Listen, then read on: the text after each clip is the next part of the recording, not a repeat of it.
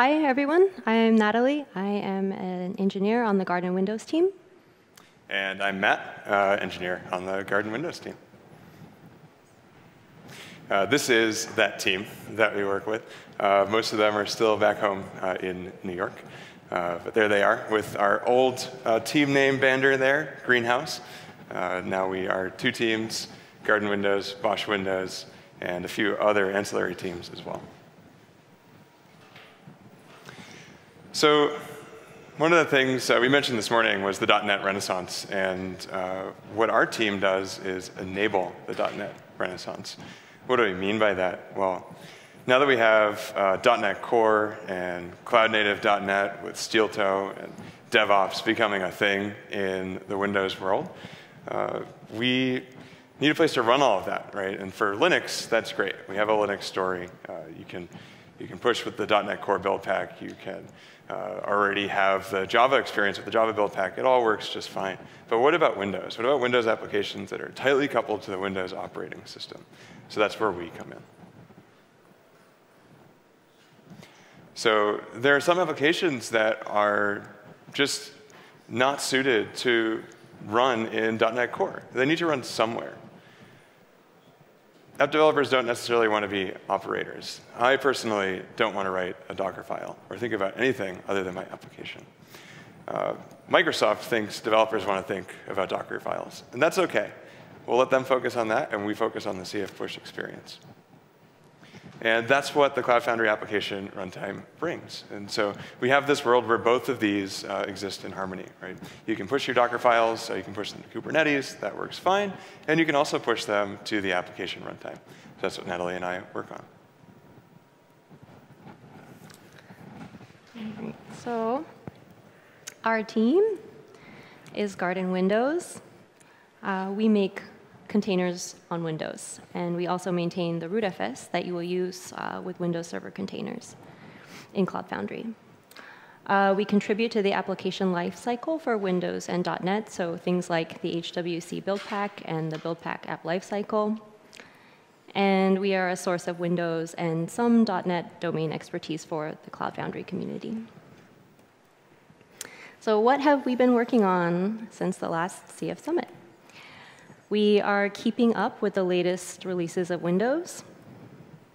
We have been continuing our effort towards pragmatic parity that Matt and Shanfan talked about this morning. And finally, we're working on enabling future platform features. So really quickly, uh, just a recap, if you're new to Windows workloads on Cloud Foundry, here are the components that we maintain. Uh, for context, we're showing the Garden server. Uh, it calls out to different plugins to do different things. So we have the containerizer on Linux. That would be runc, which is a binary that knows how to do things with containers. Um, on the Windows side, we have winc, which also conforms to the OCI standard, so we fulfill the same API. Um, for networking, we have winc network, and um, for image management, we have Groot Windows. So our components make use of the host compute service and the host network service, which are Windows services that let us do things with containers and their networks. So now Matt's going to talk about uh, how that's been changing with the different versions of Windows. Great. Thanks, Natalie. So we work pretty hard at keeping up to date with Windows Server releases. Uh, turns out it's not super simple. Uh, so right now, we are targeting uh, the Windows semi-annual channel. Uh, Windows Server 2016 is a long-term support release. This means is uh, when it's released, it has uh, four years plus of support. However, it comes with the caveat. There are no new features or improvements brought to Server 2016. So you may have noticed if you've deployed the Windows stack, we called it Windows 2016. But that's a bit of a misnomer. Uh, it's really Windows 1709, 1803, and 2019. We'll get more into that later. Uh, the six-month uh, release cycle of the semi-annual channel is great because that previous bullet, no new features or improvements, well, that doesn't apply to the semi-annual channel. However, uh, the downside of the semi-annual channel is it's only supported for two years. But you cannot think about any of these problems when you're running Cloud Foundry, right? Because you CF pushed your app, you have a droplet, and we can just take care of everything below the application. So that's really where the value of the application runtime comes in. We are uh, always testing against the next release. So we did verify compatibility with Windows Server 2019 uh, before Server 2019 disappeared from the internet this week. Uh, so it will be coming out uh, soon. Uh, as of CF deployment 3.5.0, we introduced support for Windows 1803. Windows 1803 has a smaller rootfs, networking improvements. We're now using what's known as HNS ACLs instead of Windows Firewall to enforce the NetOut policy. NetOut policy is all the rules from your application security groups. Uh, the good thing about this, this is a security feature, is that the container admin can no longer override your network policy. Uh, previously in uh, 1709, if you ever got to container admin, hopefully you couldn't, uh, you would actually be able to break out of our net out rules. So 1803 is a huge improvement. And finally, moving to 1803 enables new platform features, which we'll talk about shortly.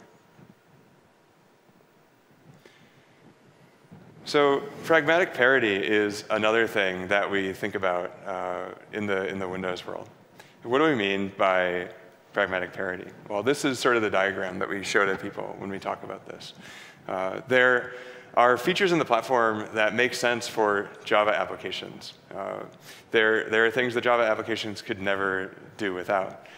And for us, we kind of pick and choose what makes sense to bring over to .NET and to Windows. So one of the things that we decided made sense last year was CFSSH, right? It's really helpful to be able to remote debug your applications, and so CFSSH enables that. Of course, there are other features that we might want to bring and other features that don't make sense to bring to Windows. But some of the future features that we are thinking about are dynamic egress, route integrity, and Istio.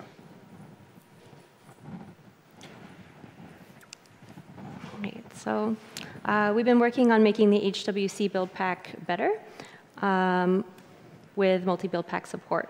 So that has been around for some time with the other build packs, and we just enabled it um, a couple weeks ago. So what does that mean? That means as an application developer, you can now have an extension build pack that will supply dependencies or application performance monitoring tools or debugging tools to your app uh, without have to without having to copy that into your source code. Um, so just to illustrate what that looks like, uh, you can now CF push, provide a path to your extension build pack along with HWC build pack. Those will compose together. Um, they will both run in the staging, staging container and finally be packaged up in the droplet. Uh, we are iterating on this. Uh, we're currently working to provide some more documentation and guidance to build pack developers on how they can write their extension build packs. Um, we're also welcome any feedback that you might have on how we can kind of make improvements to, um, to the build pack itself to better suit the needs of .NET developers. Also in HWC, we enabled HTTP compression. Um, this is for both dynamic and static content. Uh, it's turned on by default. Uh, we have sensible defaults for each. Um, this is just illustrating that now, you know, with HWC build pack, when you hit your app, your content will come back compressed.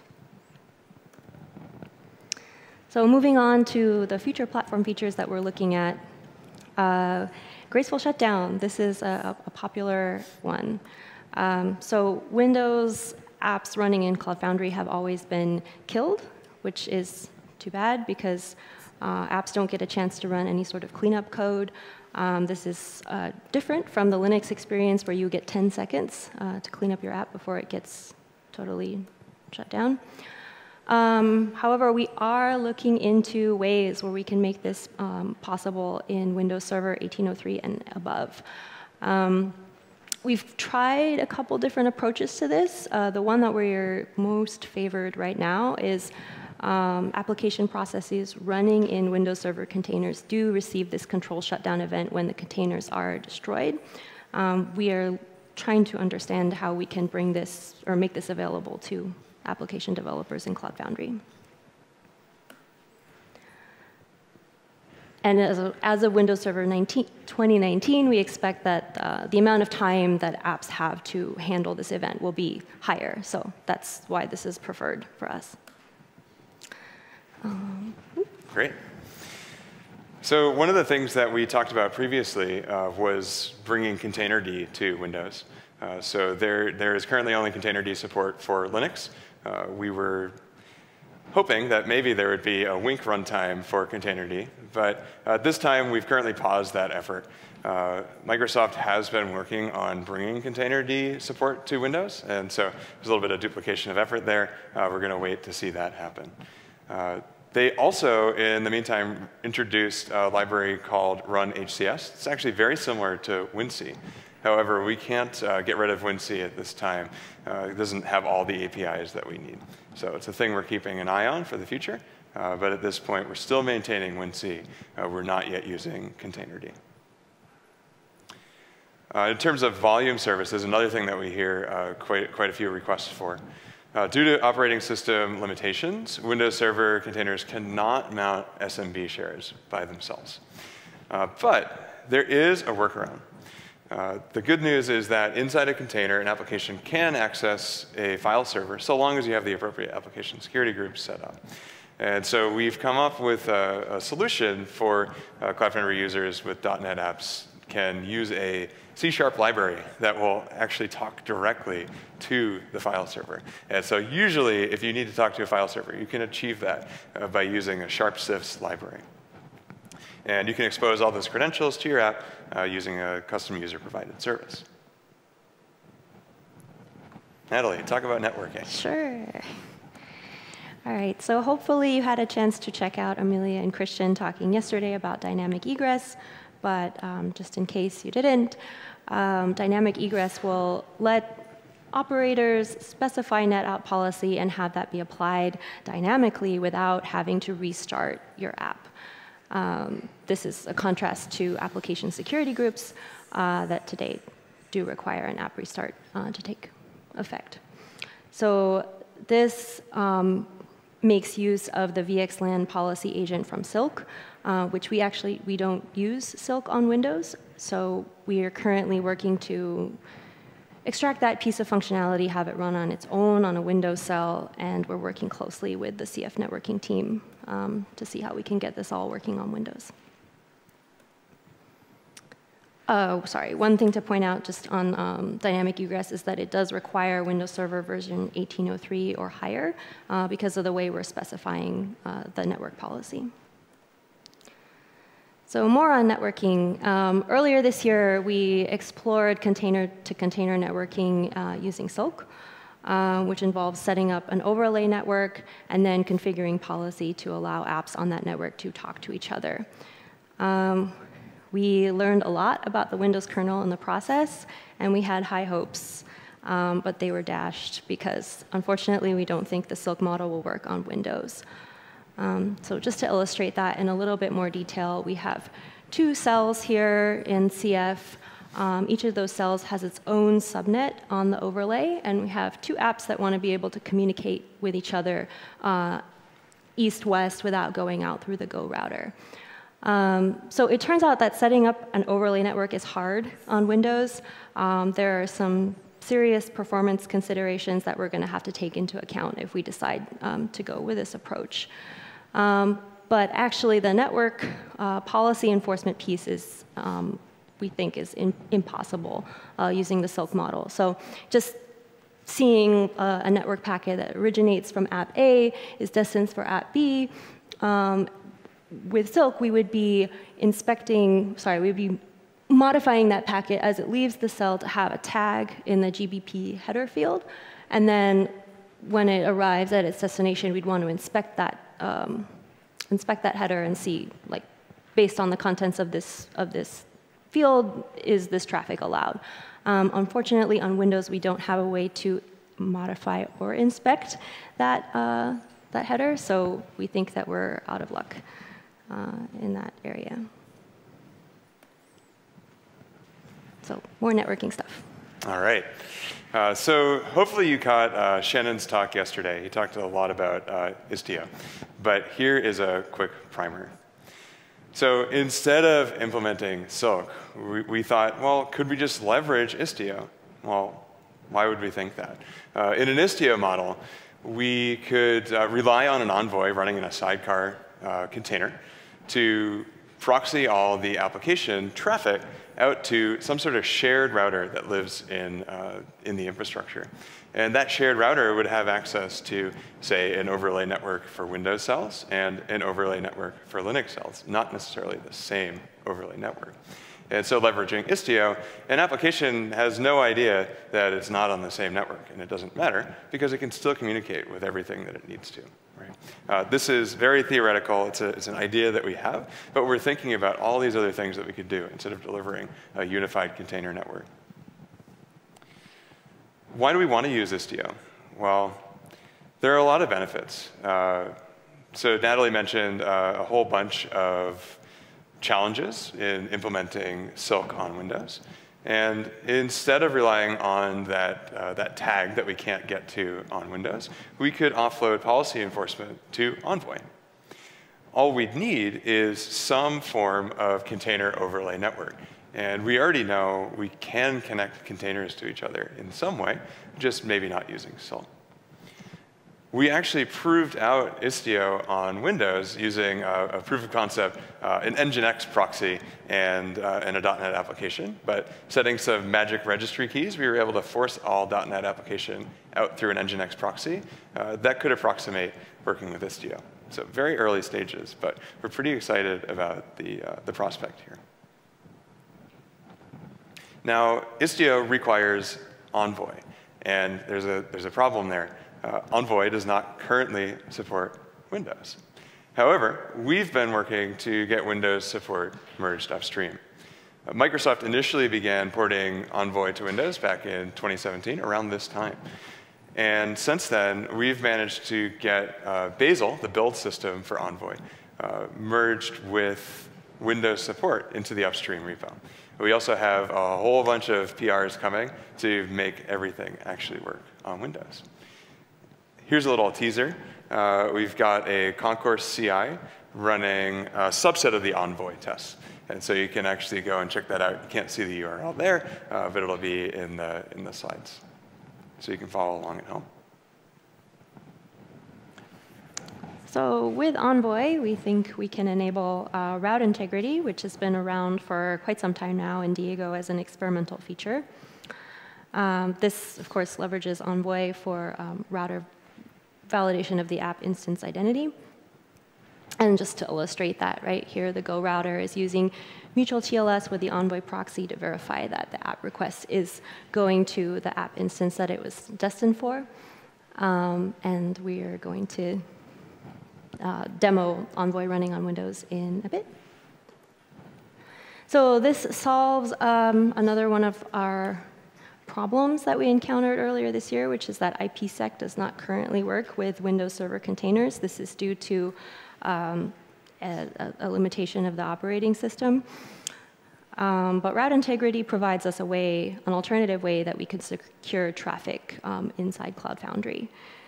And um, Diego recently, uh, maybe you saw the email to CF Dev, uh, they will introduce a feature to tunnel all traffic, in, um, including SSH, through Envoy. So this would be um, a way for us to make sure that traffic inside of CF is totally secure.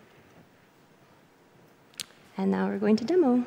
All right, see how this goes. Live demos always go seamlessly. So, can't see that.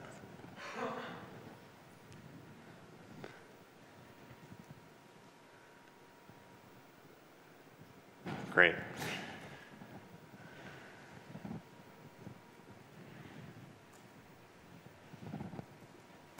So I'm going to uh, SSH into an instance of an application I have deployed to a Windows cell.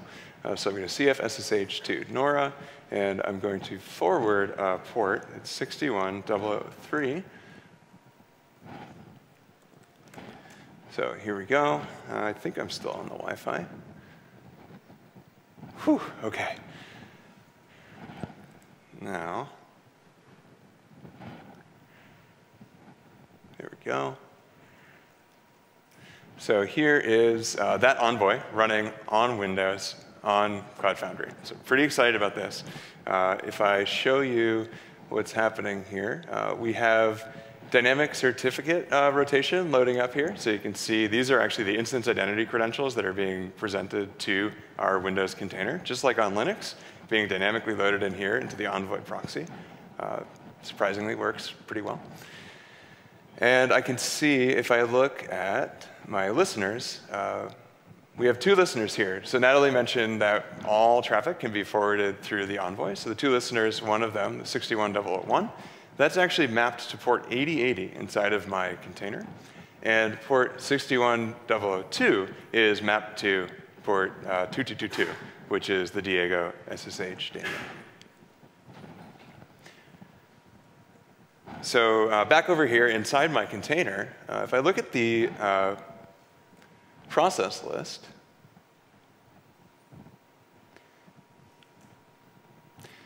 You see that, uh, oh, maybe make this a little bit bigger. There's no, uh, there's no Envoy process running inside this container. There we go. So you can see this is actually where my app is running. HWC is my, is my application.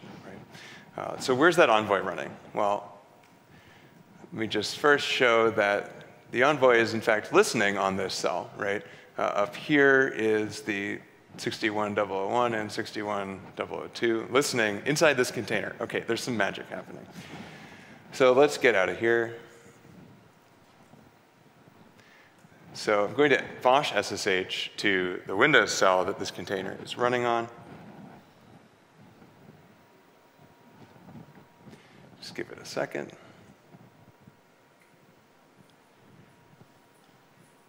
hopefully. Once again, launch a PowerShell.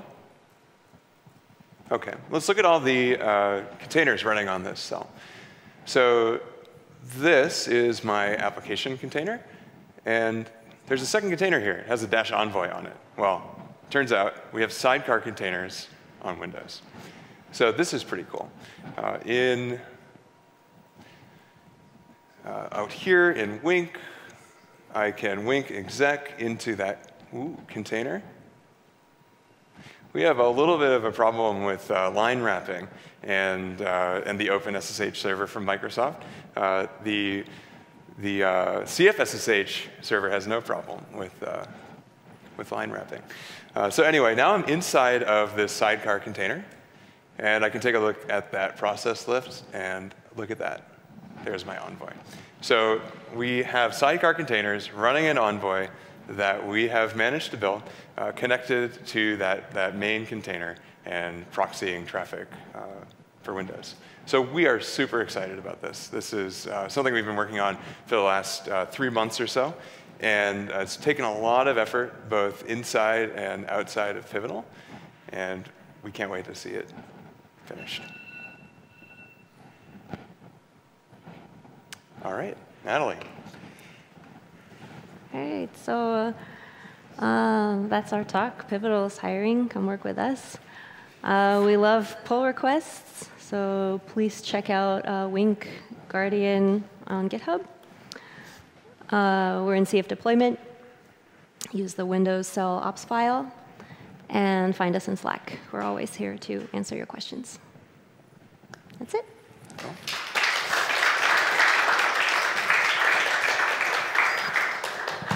So any questions to Natalie and Matthew?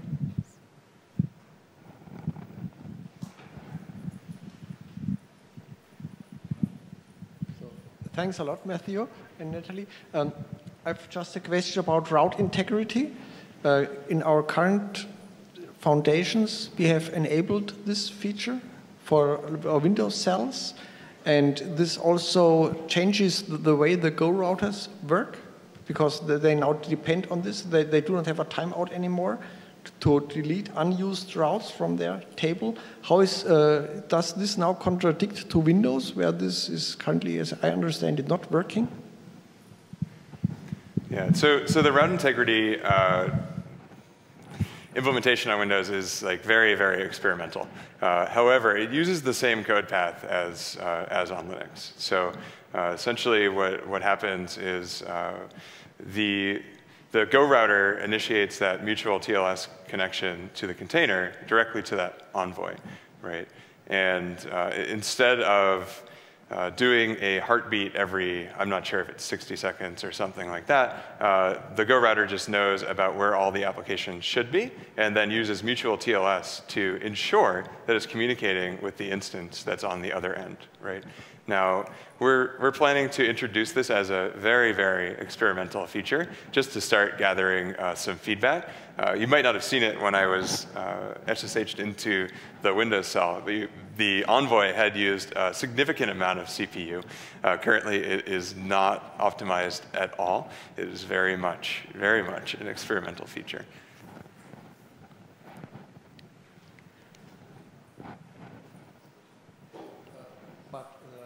Uh, the point is, uh, we have currently route integrity enabled in our okay. foundations.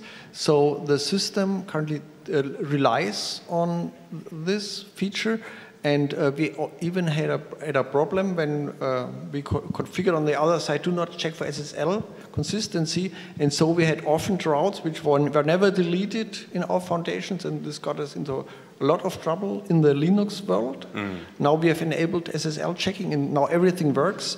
And if uh, you know Windows does not support route integrity with mutual TLS, then uh, yeah, we, we don't know. I, I understand that we might run into a problem here. Yeah, we, we should we should dig into that a little bit more, uh, yeah. especially with some of the other subject matter experts in this area. Yeah, it's basically about mix and match Windows and Linux yeah. Diego cells in that environment. Right. Uh, around uh, loading SSL certificates into Windows containers, I know this is something that you all have, have uh, struggled with. Uh, we think we might have a fix for that uh, that we came up with over this trip. So stay tuned. Any more questions?